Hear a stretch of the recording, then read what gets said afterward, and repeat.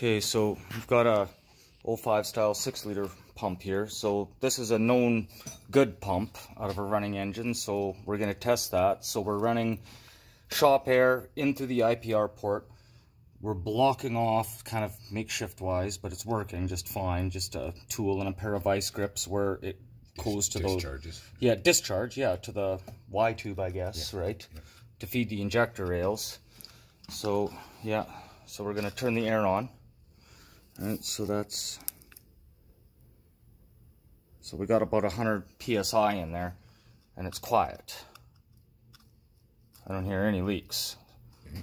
So that's a good pump. Okay, so now I'm just gonna pause it and we'll switch over to the Okay, and we're back.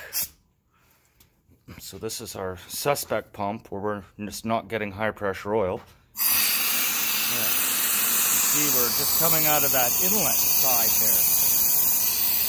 You know, uh, so, so notice we had that small, that difference there, right? Because like at first, yeah, so it really depends on the pump position. Position, but we Yeah. that one and we still didn't get anything. No, we didn't get anything. So, so when I did the air up on the vehicle and I didn't hear it, you know, it was probably just pressuring up the uh, the valve, Yeah, just the whole system. that whole system that way, and that's what makes it tricky to see. That's a definite difference. Yeah, exactly, right. So that is easy to determine this pump is no good. Well, there we go. Now we got a test rig. Nice.